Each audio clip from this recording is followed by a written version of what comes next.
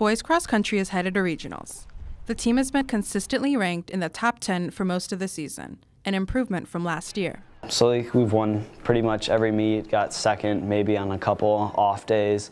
Um, but team, we've just done like a really good job like bringing the pack up because last year it was kind of just me and Zach um, up front together. But this year we have like a pack of four or five like all up together. Everyone's like motivated off the single goal of going to state.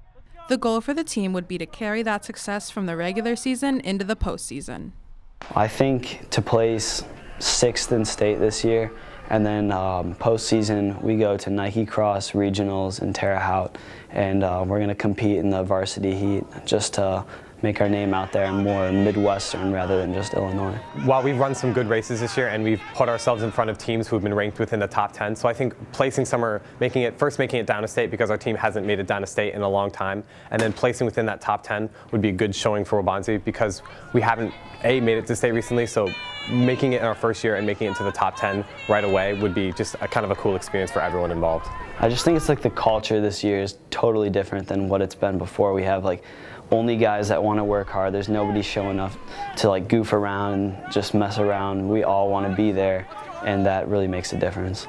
We've had a, a, solid group of runners every single meet, so I think the fact that we've had runners all season who've been trying all season and have been getting around consistent times or improving the whole year has sort of helped to maintaining a good state ranking because it can fluctuate and it does all the time. But I think because of our consistency within our team and like the hard work and it's just sort of led up to this.